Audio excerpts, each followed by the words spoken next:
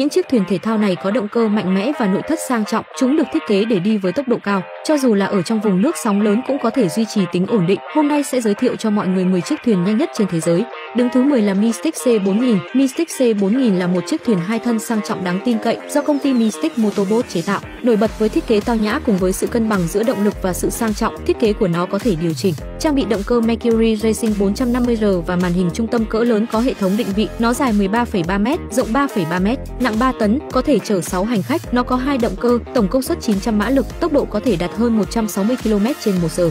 Đứng thứ 9 là Fountain 32. Fountain 32 là một chiếc thuyền hai thân động cơ tốc độ cao do công ty Fountain Jetskis chế tạo. Thiết kế của nó nhằm mục đích di chuyển với phương thức cân bằng. Đồng thời khi sẽ giữ được sự ổn định, nó được bố trí ghế ngồi gia cố, hệ thống màn hình âm thanh và hai động cơ Mercury Racing 400 giờ. Nó dài 9,7m, rộng 3m, nặng 2,4 tấn, có thể chở 5 người, bố trí hai động cơ, tổng công suất 800 mã lực, tốc độ cao nhất có thể đạt 195 km trên một giờ Đứng thứ 8 là Kazi Icon 44. Kazi Icon 44 là một chiếc thuyền hai thân nhẹ và bền do công ty Kazi Ocean chế tạo, mục đích là cung cấp chuyến đi ổn định và sự thoải mái tuyệt vời cho khách hàng. Là lựa chọn lý tưởng cho gia đình, nó được làm từ vật liệu composite tiên tiến bao gồm cả sợi carbon, nổi bật với thiết kế nguy nga trắng lệ, trang bị màn hình nhiều công năng, hệ thống 8 loa âm thanh và ghế ngồi thoải mái trên bong thuyền, dài 13,4m, rộng 2,7m, nặng 3,7 tấn, có thể chở 6 hành khách, có 4 động cơ, tổng công suất 1.600 mã lực, tốc độ cao nhất có thể đạt 195 km/h.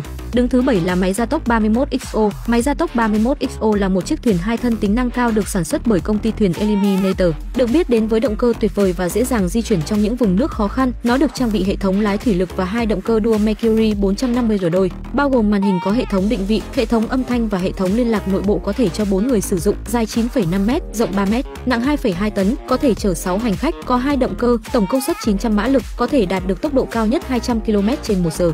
Đứng thứ 6 là MTI 440X. MTI 440X là một chiếc thuyền hai thân nhẹ và bền do công ty Marine Technology chế tạo, mục đích là cung cấp trải nghiệm tốt nhất và tính an toàn lớn nhất. Nó bố trí ghế ngồi được thiết kế có thể điều chỉnh, hệ thống điện tử thế hệ mới và hai động cơ Mercury 450R đôi, nổi bật với khả năng tăng tốc tuyệt vời và năng lực ngoặt gấp và giữ thăng bằng tuyệt vời. Chiếc thuyền dài 13,4m, rộng 3,3m, nặng 3,1 tấn, có thể chở 8 khách. Nó có hai động cơ, tổng công suất 900 mã lực, có thể đạt được tốc độ cao nhất 200 km/h.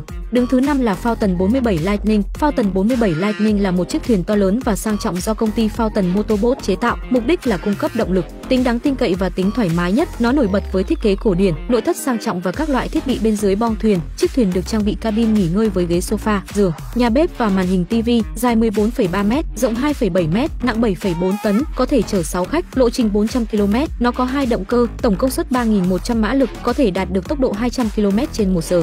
Đứng thứ tư là 50 ma Rauder AMG. 50 ma Rauder AMG là chiếc thuyền do công ty Cigarette Racing và Mercedes AMG chế tạo. Nó nổi bật với thiết kế thể thao và động lực mạnh mẽ. Chiếc thuyền được làm từ vật liệu nhẹ tiên tiến, bố trí hai động cơ Mercury Racing 1550. Dưới bong thuyền, nó có một khoang khách làm cho người ta phải ấn tượng sâu sắc, trang bị ghế sofa, giường và nhà bếp. Chiếc thuyền dài 15,2m, rộng 2,8m, nặng 6,4 tấn, có thể chở 5 khách. Nó có hai động cơ, tổng công suất 3.100 mã lực, tốc độ cao nhất có thể đạt được 210 km/h. Đứng thứ ba là Outer Limits SL50X. Outer Limits SL50X là thuyền cao tốc công suất lớn được sản xuất bởi công ty Extreme Powerboats. Nó được biết đến với thiết kế thanh lịch và đường nét thể thao, di chuyển an toàn trong khu vực nước gồ ghề và tốc độ cao. Với nhiều thiết bị, dưới bong thuyền có một cabin với phòng nghỉ ngơi, giường và tủ lạnh. Nó dài 15,2m, rộng 2,7m, nặng 5 tấn, có thể chở 7 khách. Nó trang bị hai động cơ, tổng công suất 3.100 mã lực, tốc độ có thể đạt được trên 235 km/h.